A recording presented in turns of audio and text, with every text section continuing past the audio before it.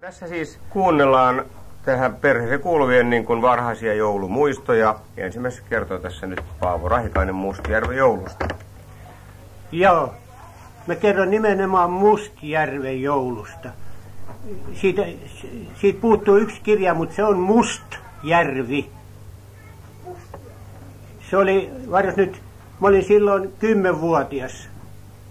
Se oli 19, ei, mä olin 11-vuotias, 1920, mä olin silloin 11-vuotias. Sinä jouluna me päästiin joulukirkkoon. Kello oli vanha aika, kello kolme aamuyöstä, kun meidät herätettiin, Harri ja Julia ja minä. Ja meillä oli kirkkorekikin, oikea kirkkoreki. Ja sen eteen valjastettiin tavallinen suomalainen maatias hevonen, joka oli tuollainen pyöreähkö ja paksuhkoa tyyppiä, ettei se ollut varsinaisesti mikään juoksija. Mutta se oli vahva hevonen ja sitä käytti peltotöissä. Se valjastettiin eteen. Sitten meillä oli pyhävalijat, jossa oli sitolkan päällä kulkunen, joka soi. Sen lisäksi oli myöskin aisakello. Ja siihen suureen kirkkorekeeni pantiin alle tuollainen ryijy. Ja sen päälle pantiin lammasvällyt ja yläpuolelle pantiin lämmäsvalyt. Me oltiin siis kaksi lammasvällyjä ja me kolme ihmistä. Ja puoli neljältä me lähetti ajamaan sinne Asikkalan kirkolle niin sanottua jäätietä. Siis jää, talvella oli tiet, jääteitä ajettiin metsän kautta sellaisia... Päijänteet Joo, kyllä. Joo. Joo. Ja se on sen Salon saari. Sen Salon saaren lävit ensin ajettiin Uitolle ja siitä yli Päijänteen Salonsaareen ja Salonsaaresta ylitte ja sitten ajettiin Päijänteen ylitte Asikkalan kirkkoa. Paljon siinä on suunnilleen kilometrejä? Noin parikymmentä. Selvä. Yhteen suuntaan. Joo. 20 kilometriä yhteen suuntaan. Sitten me tultiin Alisikkalan kirkko. Se on tämä uusi kirkko, jossa mun isä on ollut hakkaamassa niitä, kun hakattiin tii, savi, tällainen raaka savi, sitä muottia. Niin isä on ollut hakkaamassa niitä, muottiin niitä savisia alkutiiliä. Ei siis polttavassa, vaan hakkaamassa nimenomaan 18-vuotiaana.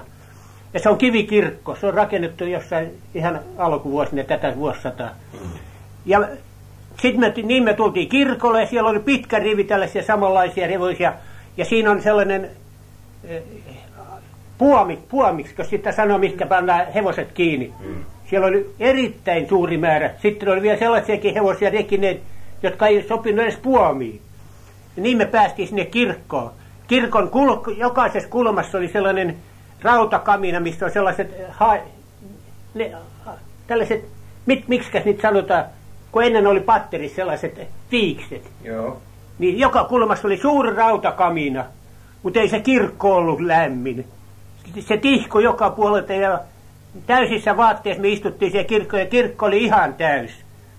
Ja minä en muista, oliko se isä, joka ajoi sitä hevosta vai oliko se joku muu mies, joka ajoi sitä hevosta. Joo. Sitä minä en jaksa muistaa. Mutta muita ei ollut kuin se, joka ajoi hevosen ja me kolme lasta. Sitten me oltiin siellä kirkossa.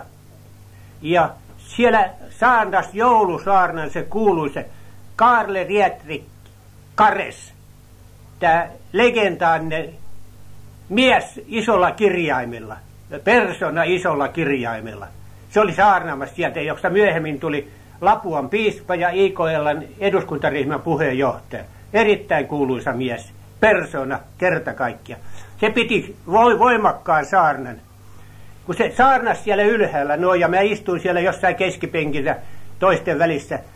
Kun siinä saarnassa oli ainakin kolme kertaa perkele ja kolme kertaa saatana. Sitten se selitti sieltä, että kyllä minä tiedän, kun te Peräkylän pojat olette ollut leppä puskassa pelaamassa korttia ja ryypännyt sen päälle kiljua. Että mä ollut kotia, niin sitten ajanut muijanne karkuja saunaan. Te olette suuresti syntisiä, te jo saatana riivannutti. Niin mun hartiat meni ainakin tuuman alaspäin ja selkäranka meni sentin kasa ja penkki tuli kolo sille kohtaa, missä mä istuin. Joo, mä todella tunsin, että se oli syntiä ja sen jälkeen mä en ole sitä syntiä tehnytkään. Mä en tullut siihen mennessäkään. En ole juonut kiljua, enkä ole kertanut rahasta po korttia. Niin, ja sitten me päästiin, kun kirkon meni ohi, mutta kaikkihan oli täysissä vaatteissa. Ei kellään ollut yhtään vaatetta pois. Lakit päässä ja kaikki me istuttiin siellä kylmässä kirkossa. Ei se lämmittänyt, vaikka joka nurkassa oli sellainen suuri kamina. Joo, ja tästä kaminasta. Se oli samoja kaminoita varmaan, joka oli siellä vanhassa pienessä työväentalossa, joka oli siellä Mustijärvellä, kun me käytiin joka oli se autiona oleva pieni työväentalo. Ja siellä kulmassa oli jättiläismäinen kamina. Ja se nainen sanoi, että tämä on kirkon vanhoja kaminoita. Niin, ja Mustijärven työväentalo, Möysen työväentalo oli samanlainen kamina. Joo. Ei Helsingin kirjoissa, kirkoissakaan siihen aikaan mitään päällysvaatteita riisuttu. No niin. Se voi olla totta. Joo, ja sitten tota noin, sitten kirkon menot kun loppu, niin sitten me lähdettiin takaisin. Ja niin ihmeelliset kun se kuulostaa, niin ihmiset ajo kilpaa takaisinpäin. Vaikka, vaikka jäällä ei ollut kuin yhdet talvitie. Joo, joo. Ja paljon lunta, ajettiin sitä huolimatta ki- kilpaa. Se vanha huvi ollut aina. Se oli, se oli jonkunlainen huvi.